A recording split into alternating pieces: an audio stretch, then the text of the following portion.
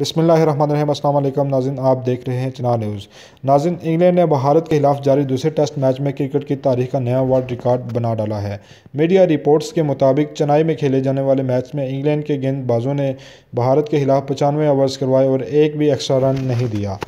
भारत ने अपनी पहली इनिंग्स में इस्लामी बल्लेबाजों रोहित शर्मा की शानदार सेंचुरी की बदौलत तीन सौ उनतीस रन बनाए। इससे कबल ये रिकॉर्ड भारत के पास था, जिसे उन्नीस सौ पचपन में पाकिस्तान के खिलाफ एक सौ सतासी ओवर्स में तीन सौ अट्ठाईस रन दिए, जिसमें कोई एक्स्ट्रा रन शामिल नहीं था। इसके अलावा इंग्लैंड ने उन्नीस सौ इकतीस और उन्नीस सौ साठ में जनूबी अफ्रीका के खिलाफ 130 और चौरानवे ओवर्स करवा के बिल तरतीब दो सौ और दो सौ रन दिए, जिसमें कोई एक्स्ट्रा रन शामिल नहीं